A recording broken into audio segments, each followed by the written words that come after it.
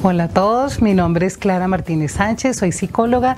Estamos en Sin Correa ni Chancleta. Este espacio está diseñado especialmente para los padres de familia, para ayudarlos a orientar, darles herramienta en la educación de nuestros niños y adolescentes. El programa pasado trabajamos el tema de las adicciones con los factores de riesgo que hace que una persona desarrolle la adicción. El día de hoy vamos a trabajar los factores de protección que hace que una persona no desarrolle una adicción a las drogas.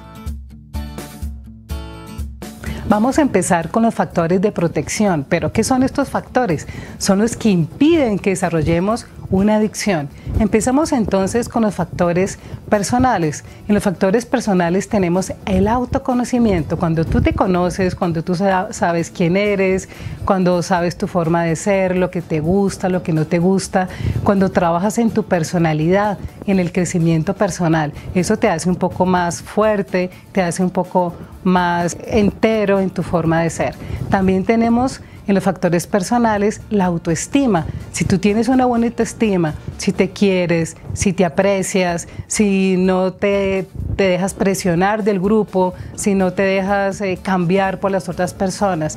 También en los factores personales tenemos tener una actitud positiva y esperanzadora. A veces estamos en un mundo difícil donde las personas pierden la esperanza y la fe. Siempre al tener una actitud positiva nos permite tener una alta tolerancia a la frustración. Tenemos también los factores de protección familiares. A veces la tecnología hace que cada uno esté en sus cosas aislado. Entonces, a veces es importante cada uno hacer sus cosas, pero siempre en familia tener una confianza, una buena comunicación es un factor de protección fundamental para evitar el consumo de sustancias psicoactivas. En los factores sociales y culturales tenemos la importancia de usar el tiempo libre. Practica algún deporte, algún hobby relacionado con la música. Busca siempre sueños. Siempre intenta que las cosas que deseas las puedas concretar. Hay posibilidades de decidir.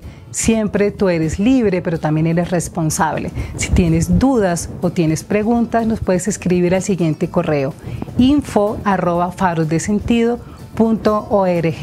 Siempre hay un faro que seguir.